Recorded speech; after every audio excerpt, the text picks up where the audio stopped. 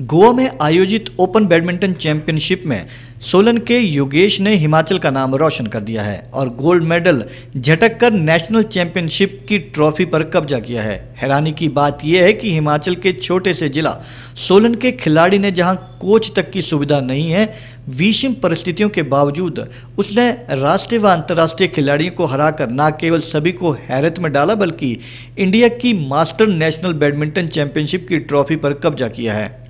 खिताब जीतने के बाद सोलन पहुँचने पर योगेश का भव्य स्वागत किया गया। योगेश ने अपनी दिल की बात मीडिया के समक्ष रखी। उसने बताया कि हिमाचल में पहली बार किसी खिलाड़ी ने मास्टर्स नेशनल बैडमिंटन चैंपियनशिप का खिताब हासिल किया है।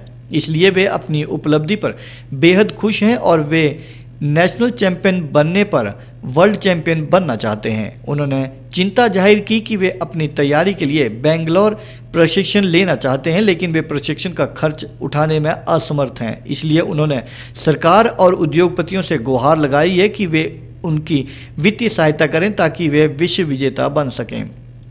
गौरतलब है कि 28 जनवरी से 3 फरवरी तक गोवा में आयोजित इस प्रतियोगिता में भारतवर्ष के करीब 500 खिलाड़ियों ने प्रतियोगिता में भाग लिया, जिसमें योगेश का एक साथ नौ मैच हुए, जिनमें वे लगातार विजयी होते रहे और सभी को हराकर राष्ट्रीय चैंपियन बने। देखिए, सारे इंटरनेशनल प्लेयर्स थे इसमें। उसमें मैंने टोटल नौ मैच खेले। नौ में से मेरे क्वार्टर फाइनल के बाद हर मैच तीन तीन सेट्स का गया, जो कि बहुत टफ रहे।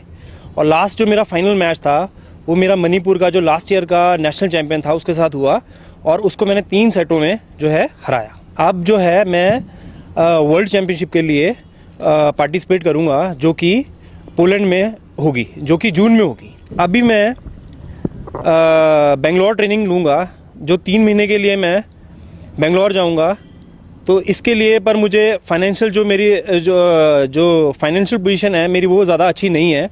तो मैं ये सरकार से और हमारे सोलन के जितने भी अच्छे इंडस्ट्रिस्ट हैं, जो भी मेरी कोई हेल्प करना चाहे तो मैं उनसे दरख्वास्त करूँगा कि मेरी हेल्प करें, ताकि मैं और अपने वर्ल्ड चैम्पियन वर्ल्ड चैम्पियनशिप जो कि पोलैंड में होने जा रही है, उसके लिए मैं ज़्यादा से ज़्यादा मेहनत कर सकूँ और वहाँ से प्राइज़ ला सकूँ। सोलन में फैसिलिटी बहुत कम है। हमारे यहाँ एक सिंगल कोर्ट है, जिसमें जब बारिश होती है तो पानी आ जाता है। तो हमने काफ़ी दरख्वास्त की है, डीसी साहब से सबसे करी है कि उसकी जो है अच्छी तरह आ, उसको अच्छे तरीके से उसका काम करवाया जाए पर हमें कोई उसकी हेल्प नहीं मिल पा रही है। तो एक कोर्ट में खेलकर मैंने जो है इतनी उपलब्धि भी हासिल की है।